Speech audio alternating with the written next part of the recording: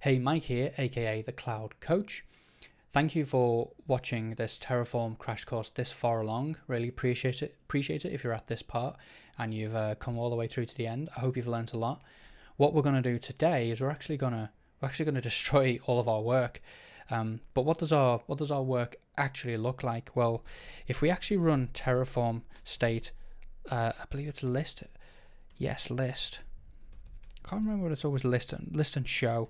List will actually go out and say, here's all your resources. Here's what you have.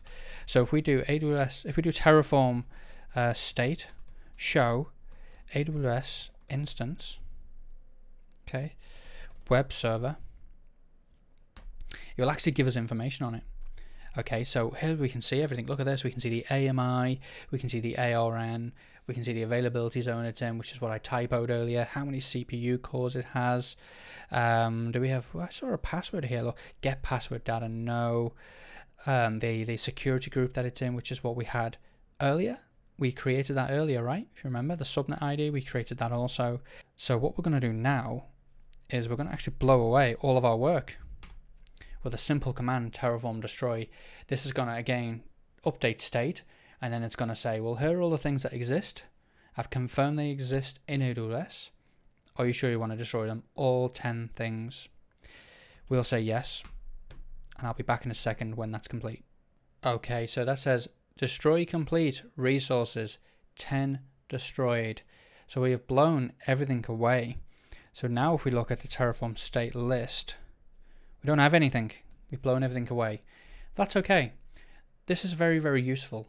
So as you've seen throughout this whole crash course, it's very quick to get Terraform talking to AWS, initializing everything, validating your code, applying your code, planning it out first, and then of course creating a VPC, creating it as a gateway, creating a subnet, creating a route table, a NACL, a security group, an EIP, an SSH key, and then dynamically fetching the very latest AMI from Canonical for Ubuntu each and every time you do a Terraform apply.